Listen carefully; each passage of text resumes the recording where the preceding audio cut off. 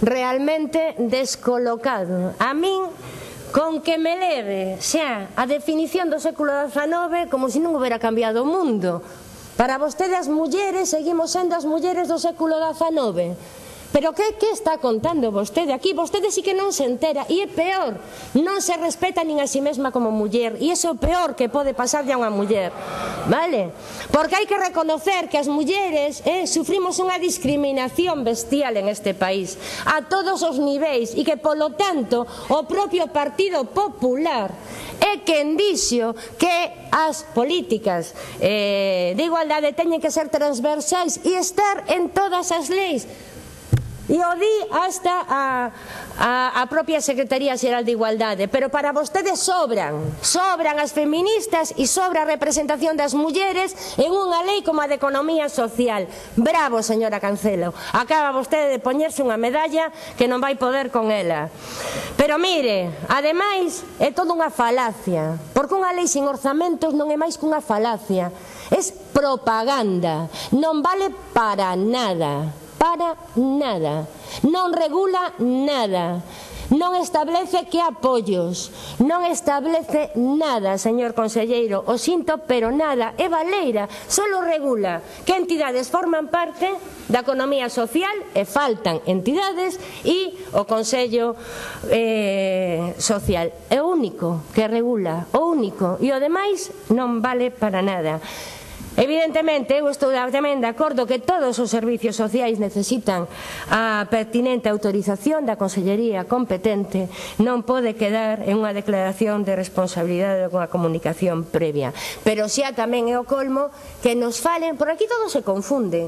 Eu creo que deberían de, non sei, pedirlle a alguén que vos lles dera unha clase do que é economía social, do que é autoemprego, do que é unha empresa, e que parece que non se queren enterar do que está ocurrindo nin da diferencia que para vostedes todo é autoemprego e todo vale coas mesmas normativas.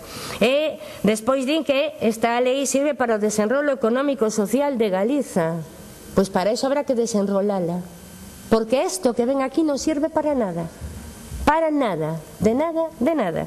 Non lle sirven nin as organizacións sociais, nin as entidades de economía social, nin as cooperativas, que xa teñen a rede Usumo, que é a donde lles mandan, E nada máis, eso é todo o que se remite esta lei, pero que ademais debería vostede saber, señora Cancelo, que hai se há definicións de economía social en toda Europa, que se distancian muitísimo do século XIX, fíxese é que o tempo pasa e as cousas van cambiando. E dentro desas definicións se incluyen as organizacións de produtores, de consumidores, de aforristas, de traballadores, residas polas prácticas democráticas, autonomía na xestión, primacía da solidaridade e, e as persoas sobre o capital e os beneficios. Eso, e aí está todo o mundo. E o que me parece tremendo é que vostede pretenda reducir isto e o Partido Popular, vostede como en este caso voceira do Partido Popular que lle toca defender este penoso texto, ¿m? o único que pretenden é dar carpetazo a un problema, vender fume ten unha realidade social que está chamando e o temos falado neste Parlamento moitas veces a que o goberno aposte decididamente polas cooperativas polo, polo traballo cooperativo negativo é todo o contrario. Miramos como dentro do ámbito rural, que sería desos ámbitos máis importantes onde se pode facer un gran traballo de cooperativismo, non está feito. Vemos como todo o contrario, pola lei da equicultura, que agora parece que se eleva, non?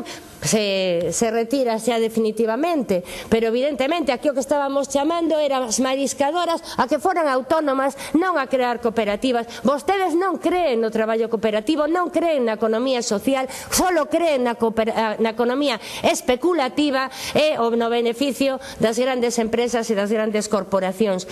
Por iso, eu manteño a miña emenda a totalidade e espero que se si realmente vostedes teñen ese sentido democrático de igualdade e de beneficio social que debe ter esta lei, retiren este proxecto de lei e en todo caso presenten outro que realmente contemple o que a economía social, contemple como se vai a orzamentar esta, esta lei e contemple as vías de desenrolo, de aposta e de crecemento da economía social, así como reconocer na lei todos os beneficios e todas as aportacións que estas eh, que orga, eh, entidades de economía social aportan ao noso país. Deixense de propagandas e eh, poñan unha lei encima da mesa Gracias. que se poda debater. Gracias, señora Martínez.